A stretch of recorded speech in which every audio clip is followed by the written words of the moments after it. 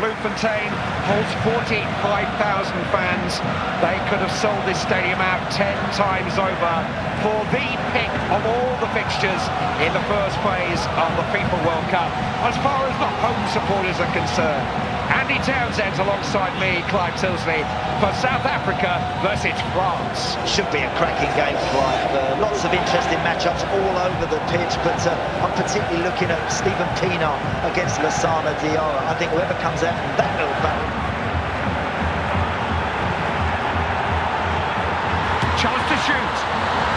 And South Africa have won a corner.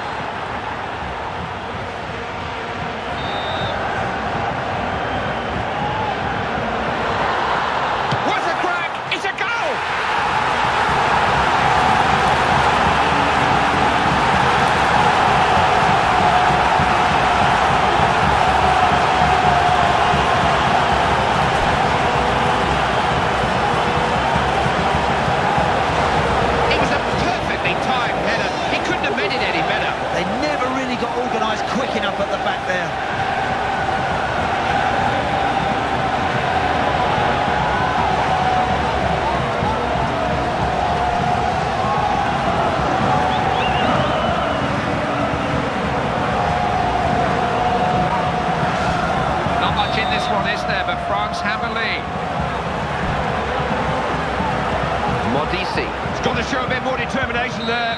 At the halfway point, it's 1-0. I'd like to see a few more goal-scoring opportunities at both ends, Clive. These two teams seem to be concentrating on the middle of the park.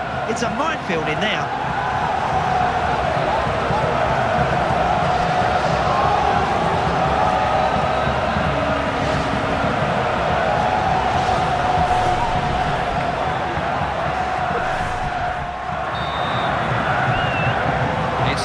France who kick off the second half. They're just going to try and pick up where they left off now. Bakary Sagna. This is Anelka. Modise. Steven Pienaar getting the ball forward quickly. And he's equalised!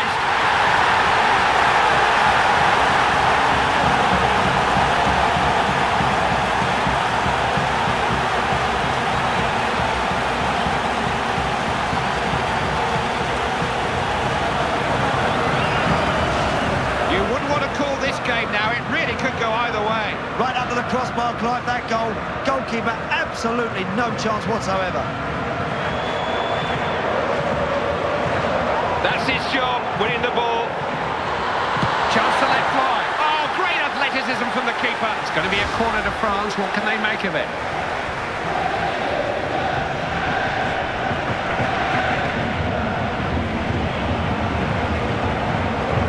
He's taking it past his man.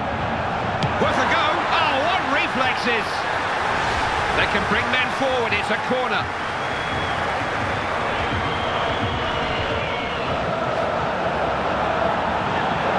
It's a real chance. Great keeping. They could just nick it here.